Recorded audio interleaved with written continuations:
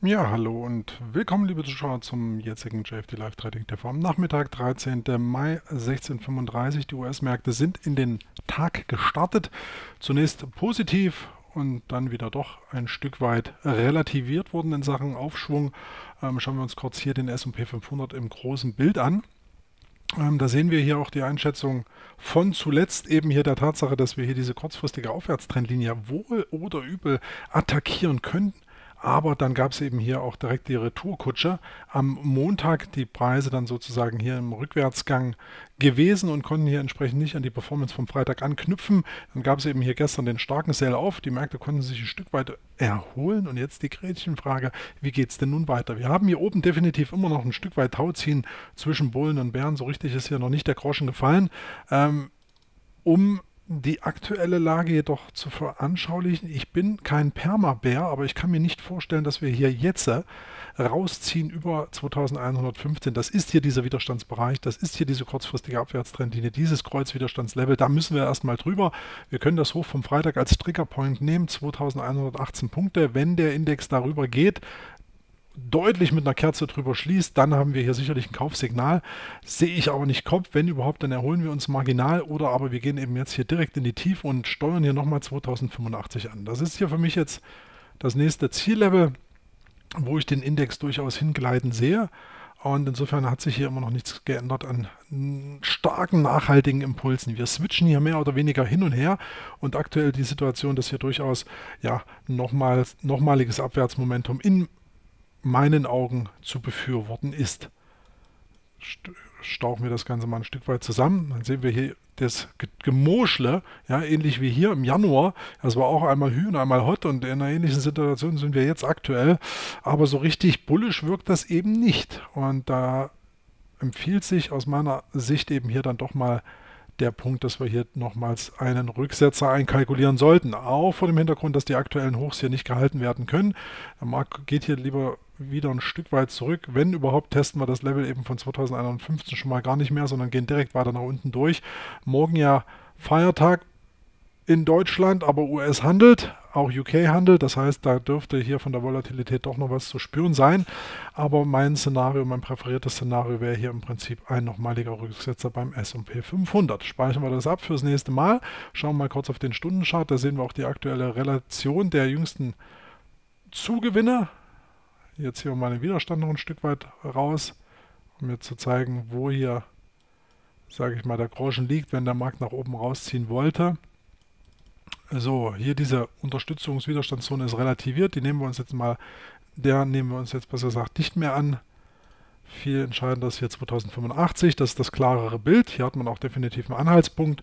Und wenn wir jetzt hier kurzfristig die Abwärtstrendlinie vom Stundenchart aus möglichst viele Auflagepunkte, kleine Spikes werden hier außer Acht gelassen, ähm, in den Chart ziehen, dann sehen wir hier sehr deutlich, okay, wir sind hier doch in einem gewissen Abwärtsmove gefangen der sich meines Erachtens aber jetzt durchaus weiter fortsetzen könnte. Ich bereinige mal ein Stück weit den Chart, der hat das letzte Mal wohl nicht abgespeichert. Aber zurück zum eigentlichen Thema. Und da bleibt es auch hier gleich. Wir können das nach drüben ziehen. Erst oberhalb von 2115, 2118 speziell wird es bullisch. Hier ansonsten sehe ich kurzfristig vielleicht einen leichten Erholungsimpuls. Ansonsten sehe ich hier die Märkte seitwärts, Schrägstrich eher abwärts laufen. Ziel 2085 bleibt meines Erachtens interessant für heute, Schrägstrich morgen. Also hier nochmal ein Stück weit abwinken nach unten. Und dann muss man eben sehen, ob die Märkte sich nochmal stabilisieren können im Sinne eines Ranging, also im Sinne einer Range voll im Sinne eines Range-Vollzuges, jetzt habe ich es, oder eben ob sie dann tatsächlich weiter abtauchen. Ähm, ob sie deutlich nach unten kippen, 2040, 45 war hier durchaus ein präferiertes Ziel. Das muss man einfach abwarten, weil die Märkte sind hier irgendwie ein Stück weit unentschlossen.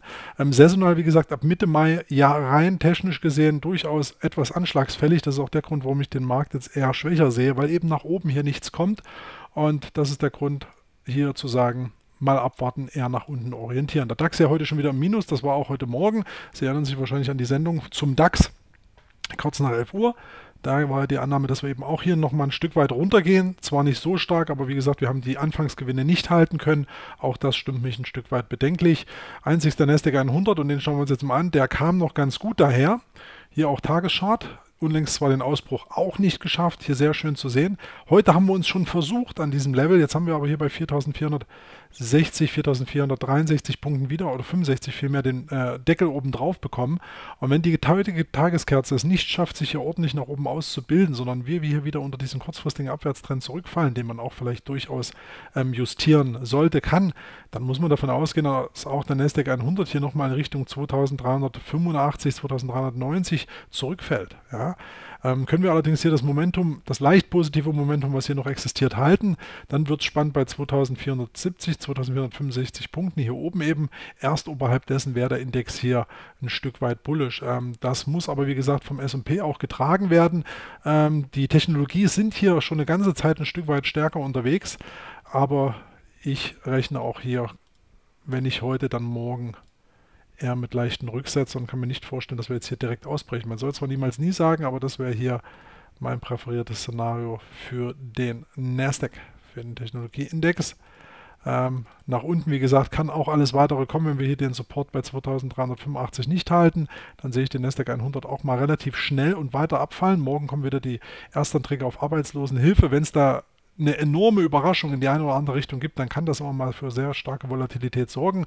Ansonsten mal abwarten, was passiert. Wie gesagt, die Bullen sind hier so recht derzeit ähm, zwar versucht, aber so recht nicht am Drücker. Und da sehen wir auch hier im Stundenchart. Gehen wir kurz rein. Der Ausbruch nach unten hat nicht geklappt. Die Seitwärts-Oszillation von gestern hat sich vielmehr bullisch aufgelöst nach oben. Ähm, jetzt sehen wir hier eben das Tauziehen mit dieser Trendlinie. Ähm, die Trendlinie, wie gesagt, ist attackiert worden. Schlecht wäre es, technisch gesehen auf Stunden- und Tagesbasis, gerade eben, wenn wir jetzt hier doch nochmal reintauchen, weil dann muss man davon ausgehen, dass wir eben 2385 4385 äh, durchaus nochmal anvisieren. Und das wäre, wie gesagt, ähm, mein präferiertes Szenario. Also nochmal kurzfristige Schwäche an den Märkten. Wie es dann morgen weitergeht, wir werden Sie morgen auf den Laufenden halten. Morgen ist natürlich auch Feiertag in Deutschland, aber da die Märkte online sind, werde auch ich vor Ort sein.